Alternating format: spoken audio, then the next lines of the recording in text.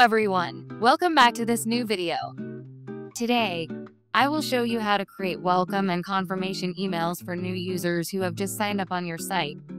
These are very helpful and relevant emails that are needed to confirm the subscription and to introduce the user to your services. Let's start with the confirmation email.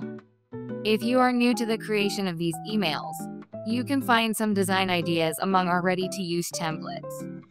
Confirmation emails don't have to be too complicated. Their aim is to invite the user to the confirmation of their subscription. The most important element is a visible call to action that will be clicked by the subscriber to complete their sign up. Remember the confirmation email is sent only if you activate the double opt-in.